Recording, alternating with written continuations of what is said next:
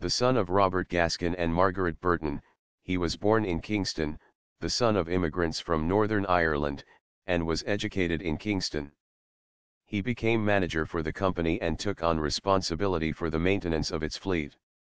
He was opposed to trade unions and, on several occasions, fired employees who joined a union. He served on the local public school board and the Kingston Board of Trade, serving as president in 1902.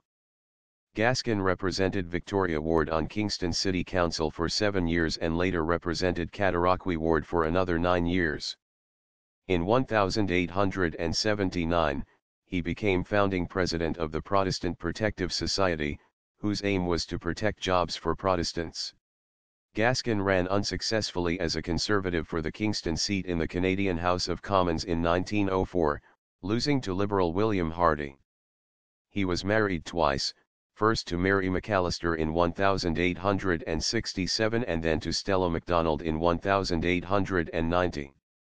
An iron lion which originally stood at his house was donated to the city by Gaskin's family in 1909 and stands in Kingston S. MacDonald Park.